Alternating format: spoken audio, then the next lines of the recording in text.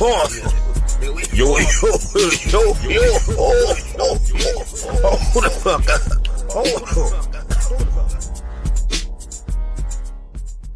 Yo, yo, yo, yo, yo, yo, yeah, it's your boy OG Shizzy Brizzle. This another Shizzy Lit podcast. You understand me? Straight to the topic and shit. Now that all the Mary Jane is getting legal all everywhere and shit, and not saying I never seen one of these kind of commercials or heard one of these kind of commercials before, but now they extra, extra stressing the DUI with the weed. Now it ain't all about the drinks. Now that they know hey, everybody fucking with the grass because it's legal and all that shit. They gonna find a way to fuck it up for you. Like, y'all moving too freely around here.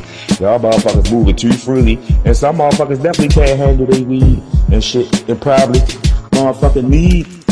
That shit probably is needed just for a handful of motherfuckers and shit. But it's the DUI joint. They say you drive high, get a DUI shit. So now the weed smokers and shit got to deal with the bullshit. We always used to play around and joke the little drunk niggas.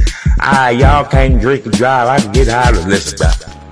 I feel, you know feel me? Not saying I'ma do it. I don't promote nobody else to break the law, but I ain't saying I'm, I've been doing this shit for 25 years. I ain't never fucked that dog.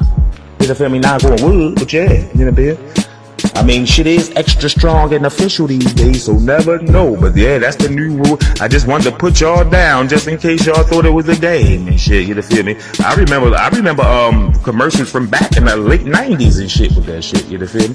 When the weed craze went crazy, when everybody started blowing bread, they definitely will start putting up the little DW weed, DWI weed videos and shit. You know what I mean? So they back in full effect with that joint. I'm just letting y'all know. So don't get caught about that bitch. Keep some Vaseline. Keep some motherfucking Bluntville and some smoke eliminator.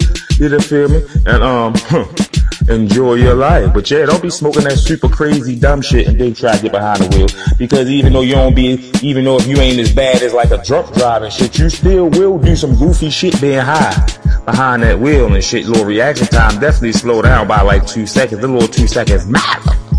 So yeah, I'm 50-50 with the joint, but baby, I did that shit for so long, and I should have you feel me. I might not say I'm gonna go on and obey that joint, but I advise everybody else to obey that shit. I've been smoking like a champ. You feel me? So my tolerance is not that motherfucking high like that. You feel me? Well, my shit is extra high. That's the point. I don't get high like everybody goofy, all goofy and all that shit. That's a part of natural part of my life. I just wanted to let y'all know that's the that's the new wave out here. So watch your asses out there. You, I know niggas like to roll and smoke. You know feel me? I don't know if it's every state. You know feel me? I don't know if it's in every state, but we shall see. Y'all know I keep y'all informed on that joint. You know feel me? A little WTF News Shizzy Lit Podcast Conglomeration action. New at 5, while recreational weed is now legal in Arizona, driving with it in your system is against the law. Max Gordon shows us how police are cracking down on marijuana DUIs and what you need to know to stay above the law. A traffic stop for a marijuana-related DUI will usually begin like an alcohol-related one, but a breathalyzer for marijuana isn't commonly available for law enforcement, so to find a different way to detect the drugs in your system, and that's where the differences begin. Often a drug recognition expert gets called out, and if it's determined the driver's impaired, marijuana DUI investigations in Arizona require a blood test. If you just have marijuana in your system, that's all it takes. But taking blood is a specialized skill. And the Maricopa County Sheriff's Office says it's still waiting to see if more deputies will need to be trained with the legalization of recreational weed. So new out of the chute, uh, we don't know if we're going to need an increase in phlebotomists. The Governor's Office of Highway Safety says there are no specific statewide stats regarding marijuana related DUIs in Arizona, but at least one lawyer here says he's seen an increase in cases ever since medical marijuana came to Arizona. In the last five to ten years, certainly, is an uptick in, in, in clients who are calling me who've been injured in accidents with people have used marijuana. There's simple advice for avoiding a DUI. If you've used marijuana, don't get behind the wheel. But there's still a lot that isn't known. Because of the federal laws with regards to marijuana, there hasn't been a lot of research with regards to marijuana impairment in driving.